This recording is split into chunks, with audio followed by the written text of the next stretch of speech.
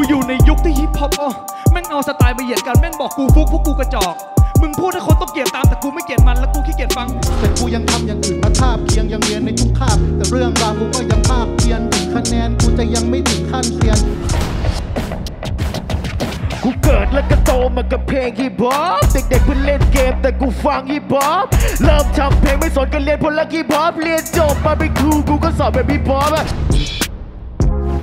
เพลงแรปแม่งให้อะไร กูเลยฝึกจนเจนแรปนั่งสปิดแต่เซมแท็กจนเป็นแชมป์นอกตำราไม่มีถูกผิด ในสมรภูมิการแรปต้องคารวะความโฟล์ไม่ว่าเอกโทรตรีสิบ